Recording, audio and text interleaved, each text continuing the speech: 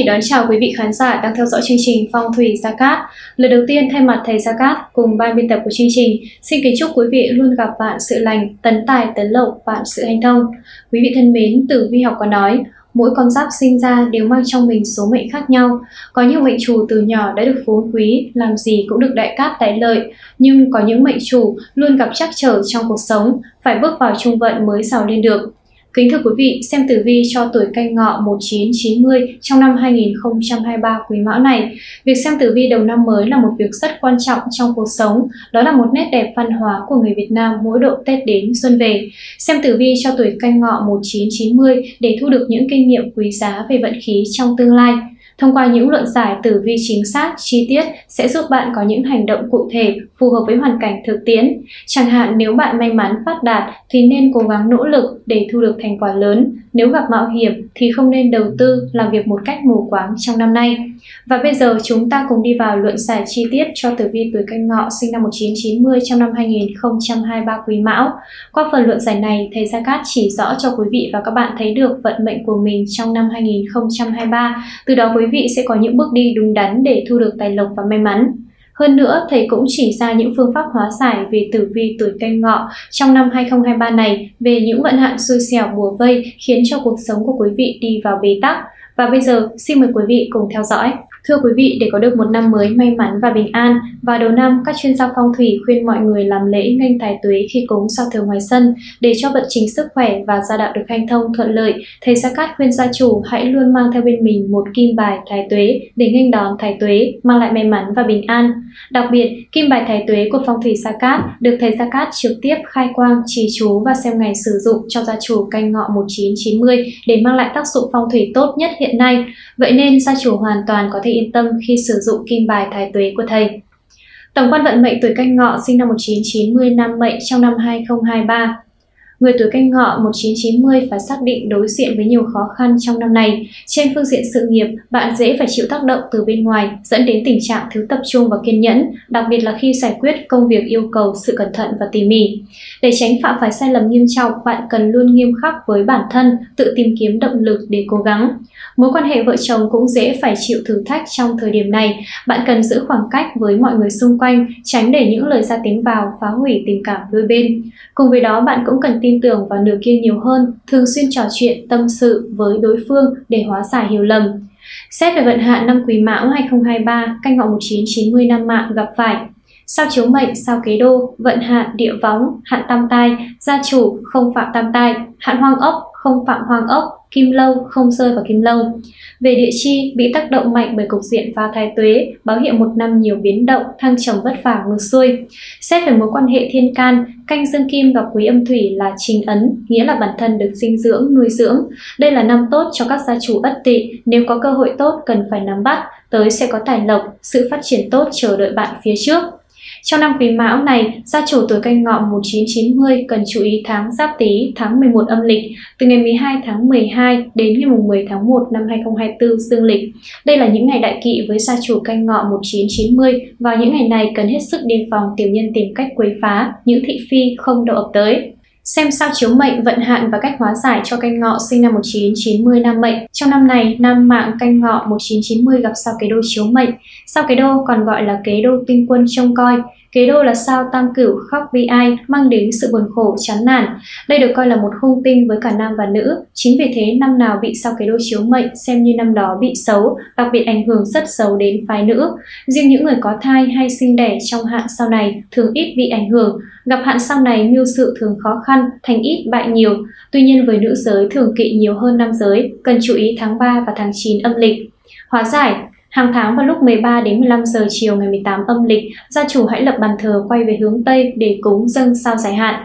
Để thực hiện nghi lễ này, gia chủ cần chuẩn bị hương hoa, trà nước, mông ngũ quả, chè, quả thuốc, bánh kẹo, muối gạo và 21 ngọn nến. Lễ vật dùng để cúng sao kế đô phải là màu vàng. Trường hợp có một số thứ không phải màu vàng thì lấy giấy vàng gói vào hoặc có thể lót dưới mâm rồi đặt lên bàn thờ. Cách viết bài vị cúng sao kế đô, gia chủ hãy dùng sớ có màu vàng và viết địa cung thần vị kế đô tinh quân Tuổi canh ngọ 1990 năm mệnh năm nay gặp hạn địa võng. Nhắc đến hạn địa võng, người xưa có hai câu thơ lục bát như sau. Địa võng nhiều nỗi buồn than, lời ăn tiếng nói xanh đoan dây già. Có nghĩa người nào gặp phải hạn này, gặp nhiều nỗi buồn trong cuộc sống, gặp nhiều rắc rối thị phi, dù làm đúng hay sai vẫn bị người khác hiểu nhầm, muôn đời mang tính xấu. Điều này khiến tâm trạng người gặp hạn trở nên đau buồn và phiền lòng. Khi gặp phải hạn này thì các mối quan hệ xuất hiện nhiều mâu thuẫn, hiểu nhầm. Trong gia đình thì lời qua tiếng lại khiến không không khí luôn căng thẳng và mệt mỏi, không nên quá tin vào lời nói của người khác, nhất là không cho người lạ mặt ở hay ngủ nhờ, chẳng may tai bay vạ gió, hao tiền tốn của, dễ xảy ra tình trạng trộm cắp, mất mát tài sản. Hóa giải để giảm bớt ảnh hưởng của hạn địa võng, gia chủ chú ý không nên đi ra khỏi nhà vào trời tối, không may tai nạn bất ngờ xảy ra rất nguy hiểm. Nhẹ thì hoảng sợ, tiền của mất mát khi gặp kẻ xấu, nặng thì tai nạn đe dọa đến tính mạng cái chết. Sau đó gia chủ không nên cho người lạ mặt hay vay mượn tiền ngủ nhờ qua đêm. Chẳng may gặp phải kẻ xấu nổi lòng tham đánh cắp tài sản, thậm chí còn sát hại đến tính mạng. Quan trọng hơn, gia chủ cần thành tâm, sống hướng thiện, thường xuyên đi chùa thắp hương cầu Phật, mong gia đạo được bình an, sức khỏe dồi dào. Luận tử vi canh ngọ sinh năm 1990 năm mệnh theo tháng âm lịch năm 2023. Tháng 1. Đầu xuân năm mới, bên gia đạo tuổi canh ngọ năm mạng cần chú ý đường công việc làm ăn có thể gặp phải vấn đề. Tháng 2. Làm công việc gì cũng được quý nhân giúp đỡ. Tháng 3. Cần chú ý về sức khỏe trong tháng này không được tốt, công việc trong tháng này có người phá hoại. Tháng 4. Có thể gia đình năm mạng canh ngọ sẽ thay đổi chỗ ở trong tháng này. Tháng 5, được quý nhân giúp đỡ cho nên công việc trong tháng 5 được hanh thông, thuận lợi và có tài lộc tới. Tháng 6, gia đạo tuổi 1990 năm mạng trong tháng 6 có chuyện buồn đưa tới, mối quan hệ tình cảm thành viên trong nhà cũng không được tốt. Tháng 7, đây là tháng tuổi canh ngọ nên chú ý cẩn thận việc di chuyển, xe cộ hoặc có thể mất mát tiền bạc của cải. Tháng 8, tháng này có sự tiêu pha nhiều tiền bạc vào các công việc kinh doanh làm ăn, tốt nhất trước những dự định đầu tư nên tính toán kỹ lưỡng. Tháng 9, công việc làm ăn trong tháng có sự phát triển, mở rộng thêm, tuy nhiên gia chủ cần cẩn thận có kẻ xấu phá hoại. Tháng 10, được quý nhân giúp đỡ, công việc trong tháng này được thuận lợi, tuy nhiên chú ý tình cảm giữa vợ chồng không tốt. Tháng 11, trong tháng này gia đình có chuyện buồn đưa tới hoặc có tang sự nên lưu ý. Tháng 12, mọi công việc kinh doanh làm ăn trong tháng cuối năm bình thường và ổn định, tốt nhất không nên đầu tư nhiều tiền bạc trong tháng này. Tổng kết tử vi tuổi canh ngọ sinh năm 1990 năm mạng trong năm Quý Mão 2023. Về sự nghiệp, phương diện sự nghiệp nam mạng canh ngọ trong năm 2023 không có quá nhiều biến động, bạn vẫn có cơ hội phát triển và làm những việc mình muốn. Nếu biết cách nắm bắt, bạn sẽ gặt hái được không ít thành quả ngọt ngào. Còn nếu không có quá nhiều tham vọng, tất nhiên đây sẽ là một năm bình ổn, không quá nhiều đột phá với bạn.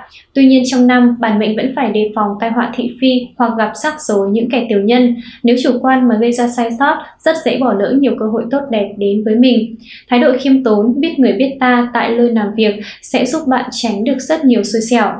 Về tài chính, cần chú ý tài lộc trong năm của mệnh chủ canh ngọ 1990 có thể là tiền phi pháp, hoạch tài, tiền trúng số hay cờ bạc mà có được. Tiền có được mà không phải bằng mồ hôi nước mắt của mình thì dễ mất mát. Của thiên trả địa, bản mệnh hãy lưu ý khi chi tiêu.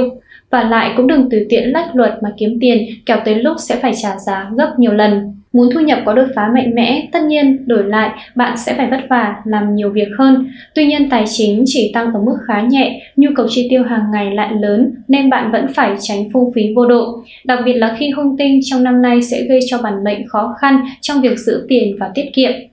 Về sức khỏe, Xem tử vi sức khỏe, mệnh chủ canh ngọ 1990 năm 2023, tình hình sức khỏe của bản mệnh có phần đáng ngại. Chính vì thế, bước sang năm quý mão này, tuổi canh ngọ cần phải đặc biệt chú ý nghỉ ngơi và tăng sức đề kháng cho mình bằng ăn uống đủ chất và tập thể dục thể thao điều độ. Trong năm, nguy cơ cảm cúm, mắc bệnh dạ dày, bệnh đường tiêu hóa hay gan phổi là khá lớn. Bản mệnh cần phải chú ý đến những thay đổi xuất thường của cơ thể để kịp thời thăm khám ở cơ sở y tế gần nhất và có phương án điều trị phù hợp. Nên sinh hoạt điều độ, hạn chế thức khuya và đến những chỗ âm u, ẩm ướt hay mang nhiều tà khí, sát khí. Mệnh chủ canh ngọ 1990 hãy dành thời gian dành để tâm sự, chia sẻ với người thân, tăng cường tình cảm gia đình, vừa giải tỏa áp lực cho mình. Nếu có thời gian nên đi chùa thường xuyên để tâm được tĩnh, mệnh chủ năm nay sẽ cần phải sử dụng vòng cổ, bát bảo tâm kinh để bổ trợ thân mệnh cho mình. Đây là pháp khí phong thủy của nhà Phật, mang lại sức khỏe, giúp chiêu vận quý nhân, kích tài nạp phúc, tăng cường hòa hợp thiên địa nhân hợp nhất. Vật phẩm phong thủy bát bảo tâm kinh đã được thầy Gia Cát trực tiếp khai quang, trì chú và xem ngày sử dụng để mang lại tác dụng phong thủy tốt nhất cho gia chủ, đặc biệt gia chủ canh ngọ sinh năm 1990. Về tình cảm gia đạo, Vận trình tình cảm của con sắp này không quá xấu trong năm 2023, người đã có đôi vẫn giữ được mối quan hệ ổn định, ít sóng gió với nửa kia. Tuy nhiên, tình cảm quá bình ổn đôi khi sẽ thiếu đi ngọn lửa nồng nàn, dần ra khi mọi thứ trở nên nguội lạnh thì chuyện gì cũng có thể xảy ra. Vậy nên đừng quên thường xuyên hâm nóng tình cảm. Người độc thân có một vài cơ hội cải thiện tình trạng hiện tại, Tuy nhiên, chuyện có thành hay không lại nằm ở bạn. Bản mệnh nên mở lòng mình hơn, nếu có thiện cảm với đối phương hãy bật đèn xanh rõ ràng hơn để không bỏ lỡ nhau một cách đáng tiếc. Các gia chủ nên đem bên mình vòng tam hợp quý nhân dần ngọ tốt, giúp kỵ tà, hóa sát, gia đình hòa hợp. Đặc biệt vòng cũng được thầy Sa Cát trực tiếp khai quang, trì chú và xem ngày giờ sử dụng cho gia chủ canh ngọ 1990 năm mạng để vật phẩm mang lại công năng phong thủy tốt nhất. Trên đây là những chia sẻ của chúng tôi về tử vi tuổi canh ngọ trong năm 2023 quý mão. Phần lượng giải hết sức đầy đủ và chi tiết cho tuổi canh ngọ. Qua đó quý vị cũng phần nào yên tâm vững bước trong năm 2023, hứa hẹn đầy tài lộc và may mắn. Rất cảm ơn quý vị đã quan tâm theo dõi. Quý vị đừng quên ấn nút đăng ký kênh để là người đầu tiên nhận được những kiến thức bổ ích này. Xin chúc quý vị luôn gặp nhiều may mắn và bình an trong cuộc sống. Còn bây giờ, xin chào và hẹn gặp lại.